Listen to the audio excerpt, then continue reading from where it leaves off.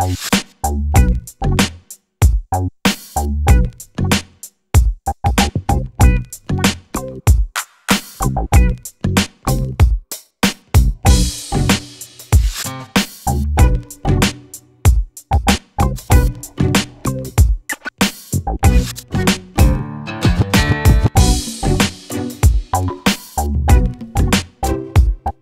have so many different varieties of chocolate here at Compartes, it's ridiculous. Um, probably we have about 60 to 80 at a given time, but there's probably about 200 that are in my repertoire.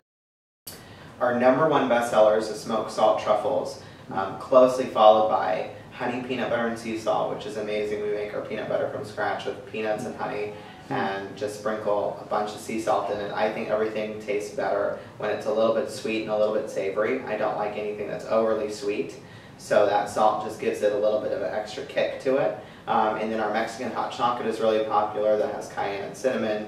We also have, you know, jasmine tea, mango saffron.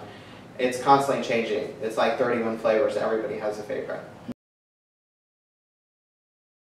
I come up with lots of my ideas just on a whim. I even have a notebook next to my bed, so sometimes I'll dream up a flavor or different flavor combinations, and I wake up from the middle of my dream and write it down in my book. Um, I'm constantly going and tasting a bunch of great ethnic restaurants around LA. We have a great food scene. I think people are starting to really recognize that LA is becoming a food destination, and um, you know, there are so many great places to go to and I'm, I'm constantly going and checking out and eating different things and tasting different ingredients that I've never tried before and thinking, okay, that would be great in my chocolate. So for me, um, it's always ever evolving and always changing up.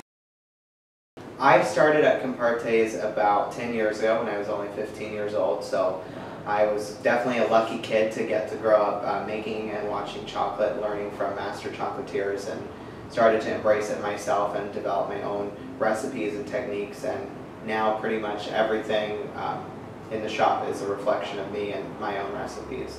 So we kind of did away with the old school compartes and made way for the new age compartes.